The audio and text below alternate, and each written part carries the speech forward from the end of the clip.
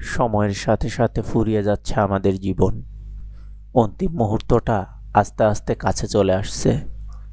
মৃত্যু অমোঘ অবধারিত, এ ব্যাপারে আমাদের মনে কোনো সন্দেহ নেই। কোরআন দায়িত্বহীন কণ্ঠে ঘোষণা করেছে, কুল্লু নাফসিন যাই কাতুল মাউথ নিশ্চয় সকল প্রাণী মৃত্যুর স্বাদ গ্রহণ করবে।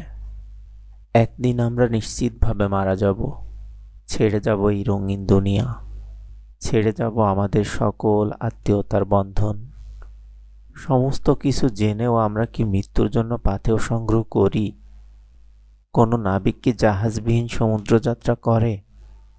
কোনো যাযাবর কি খাদ্য পানীয়বিহীন মরুভূমির পথে রওনা করে কখনো? নাবিক খুব ভালো করেই জানে, জাহাজ ছাড়া সমুদ্রযাত্রায় তার ধ্বংস অনিবার্য।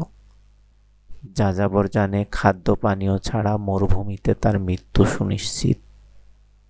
অবশ্যম্ভাবী ফলাফল জেনেই তারা প্রয়োজনীয় রসদ সংগ্রহ করে। নিজ নিজ গন্তব্যে পাড়ি জমায়।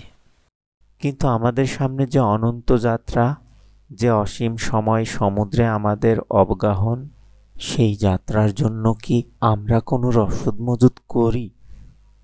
সময়ের শেষ ঘণ্টা বেজে ওঠার আগেই কি আমাদের উচিত নয়?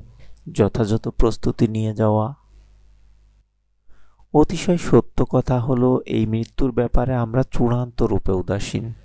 অথচ আমাদের সোনালী প্রজন্মের সোনার মানুষগুলো মৃত্যুকেই জীবনের লক্ষ্য বানাতেন। মৃত্যুর জন্য প্রস্তুতি গ্রহণ করাই ছিল তাদের জীবনের চূড়ান্ত লক্ষ্য ও উদ্দেশ্য। ইবনু উমার রাদিয়াল্লাহ তালানহু বলেছেন, একবার রাসুল সাল্লাহ সাল্লাম আমার কাপড়ের একটা অংশ ধরে বলেছেন পৃথিবীতে আগন্তুকের ন্যায় জীবনযাপন করো। আগন্তুকের মতো থাকা মানে হলো নিজেকে এই দুনিয়ায় থিতু মনে না করা। এমন না ভাবা যে এই দুনিয়াই আমার সব। আমি কখনোই এই দুনিয়া থেকে বিচ্ছিন্ন হব না। বরং দুনিয়ায় আমার থাকতে হবে আগন্তুকের মতো। এমনভাবে যেন আমরা এখানে মুসাফির, এক সুদীর্ঘ সফরের মাঝে দুনিয়ার জীবন খুব অল্প কিছু সময় মাত্র। দুনিয়ার জীবনে কীভাবে বাঁচতে হবে সে ব্যাপারে আবদুল্লাহ ইবনু উমার রাদিয়াল্লাহ তালানহু বলেছেন, যখন সন্ধ্যা উপনীত হয়, তখন সকালের জন্য অপেক্ষা করো না, আর সকাল উপনীত হলে সন্ধ্যার জন্য অপেক্ষায় থেকো না।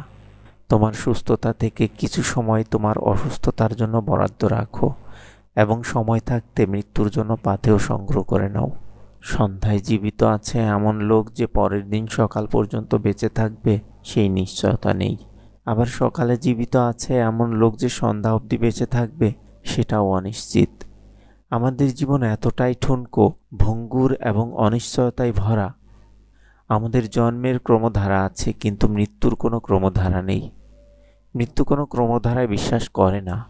আমার পিতা আমার আগে জন্মেছেন, তার আগে কখনোই আমি দুনিয়ায় আসতে পারি না। তবে আমি যে আমার পিতার পরে মারা যাব, সেই নিশ্চয়তাটুকু কেউ দিতে পারে না। মৃত্যুর ক্রমধারা নেই জেনেও আমরা কি আমাদের কৃত পাপ কাজ হতে নিবৃত হতে পেরেছি? যে কোনো মুহূর্তে, যে কোনো অবস্থায় মৃত্যুকে আলিঙ্গন করতে হবে। এই অমোক সত্য বুঝতে পেরেও আমরা কি আমাদের পরকালের পাথেয় সংগ্রহের ব্যাপারে আদৌ তৎপর? অথচ আমাদের সোনালী প্রজন্মের মানুষগুলো আল্লাহর ক্ষমা লাভের জন্য কতটাই না ব্যাকুল ছিলেন? মহান আল্লাহ রবুল আলমিন আমাদের মৃত্যু সম্পর্কে আরও বেশি সচেতন হওয়ার তৌফিক দান করুন। আমিন। ইসলাম প্রচারের স্বার্থে এই ভিডিওটি আপনি অন্যদের সাথে শেয়ার করতে পারেন। চাইলে আপনি নিজের ফেসবুক কিংবা ইউটিউব চ্যানেলেও আপলোড দিতে পারেন। কোনো প্রকার এডিট ছাড়াই।